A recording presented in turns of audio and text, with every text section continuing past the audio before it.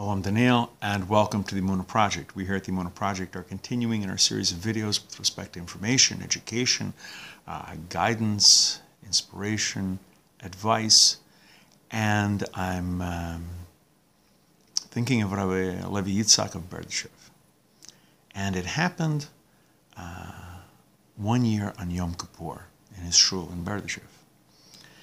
Now there was a certain woman, a certain old woman, who every year would come to Berditchev, to his shul, to daven Yom Kippur, to pray the Yom Kippur service with Rabbi Levi Yitzhak, every year without fail. One year, she's late.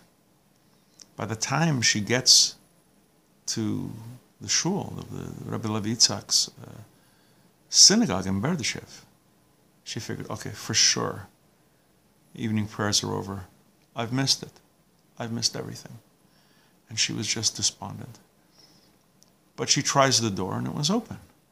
And she walks in, and there's Rabbi Levi Yitzhak, and his entire congregation, the shul was full. They had not even begun. Rabbi Levi Yitzhak waited for that one woman to show up because he knew she was going to come. And he waited for her. And every member of the congregation sat there and waited. They were astounded when she finally she came in.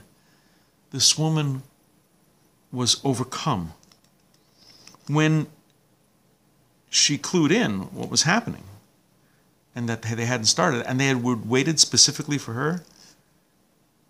She was filled with a great joy and she cried out to God, Ribono Shel Olam, Master of the universe, what shall I wish you in return for the good that you have given me, for the kindness and for the joy that you have given me?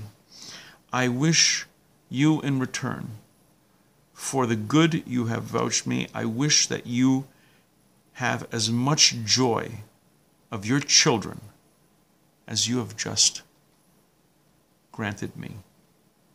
And with that, she blessed Rabbi uh, Levi Yitzhak of Berditchev and the entire congregation who sat and waited for one poor old woman to,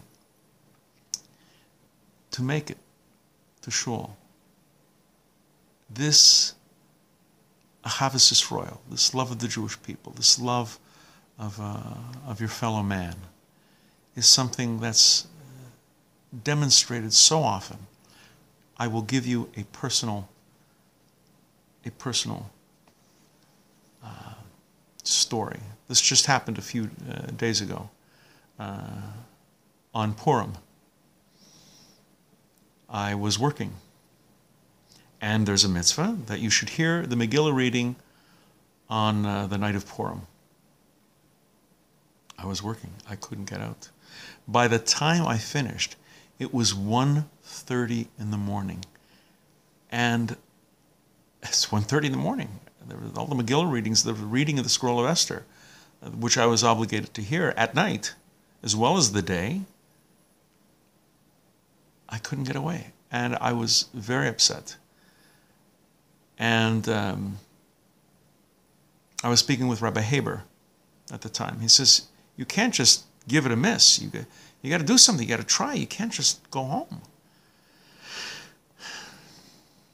I called the Chabad rabbi in a nearby town. And I said, it's 1.30. I'm just getting off work. I haven't heard the Megillah reading. I haven't heard anyone recite the Scroll of Esther. There's no synagogue in this area. I just, I don't know what to do immediately without skipping a beat, without hesitating a second. He says, Come to my home. I says, I may not get there until after 2 o'clock in the morning. He says, Phone me five minutes before you arrive. Come to my home. I arrived there about 10 after 2 in the morning.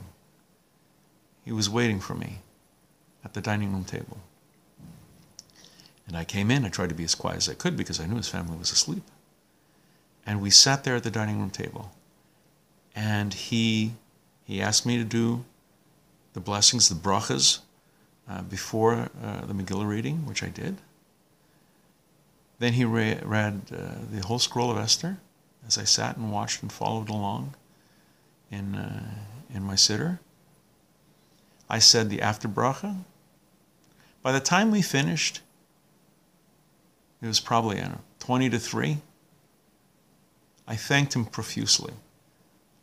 And as I was driving home, you know, almost 3 o'clock in the morning, I was overcome. And I got an understanding of this poor old woman who got to Rabbi Levi Yitzhak of Berditchev's shul and realized that everyone was waiting for her.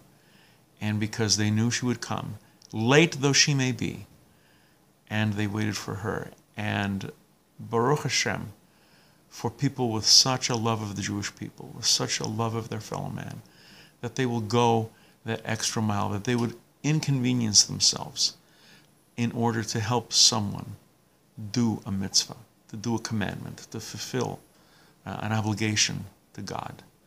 Um, we're going to be doing more videos along these lines. Please come back.